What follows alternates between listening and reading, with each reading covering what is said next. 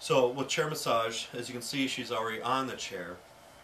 But with the chair, you actually want to show them how to actually get on the chair too. So if you could please get up.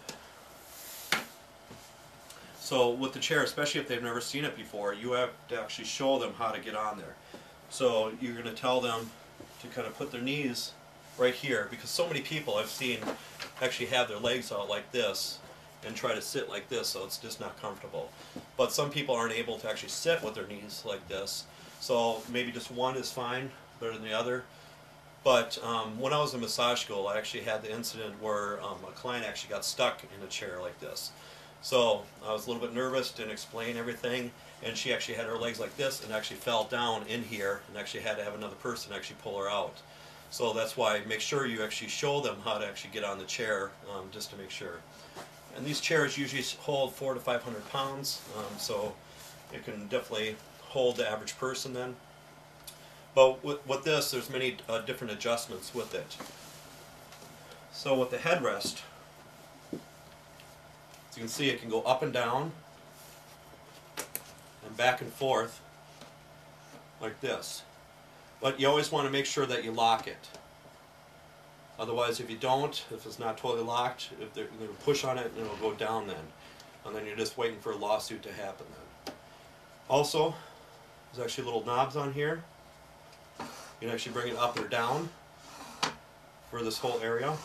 So if you're going to have a taller person, you're going to actually just raise it up a little bit and then screw it in a little bit too. Another way, another device this chair has, little lever here, as you can see, you can go back and forth. So you can almost have the client kind of in a horizontal position when they're laying down then.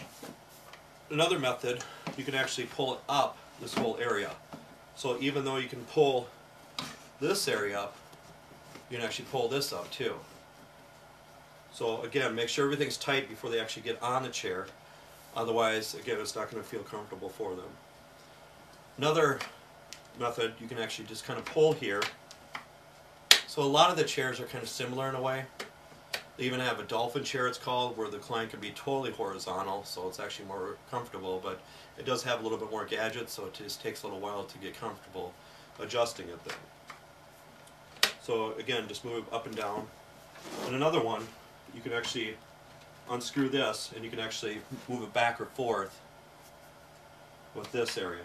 But just make sure this is not right at the person's knees, because if it's right at the person's knee when they get in there, it's going to kind of jab their knee region so it's not going to feel good for them. And then this, this one, this chair doesn't adjust at all, but when you fold it up, that's what you're going to do with this. You're going to actually kind of buckle it under, bring it down then. Okay, so what I want is I want the client to actually get on the chair. So I've showed her how to get on the chair, so just make sure both knees on there. It's kind of like a motorcycle in a way too. And then what you want is, once they're on the chair, then you can do some adjustments with the chair region. So I'm going to bring this up a little bit. And you're not going to, it's not going to be right every single time. So that's why you might have to adjust a little bit for each person. Okay, let's have the rest down. And you can see here, it's not totally on the head area. So what we're going to do is bring it a little bit forward. And then just ask them to just move around a little bit and see if it's comfortable for them. And with this hand thing, especially if they have any kind of carpal tunnel problems, you can just raise that up a little bit. Is that comfortable? Mm-hmm. Okay.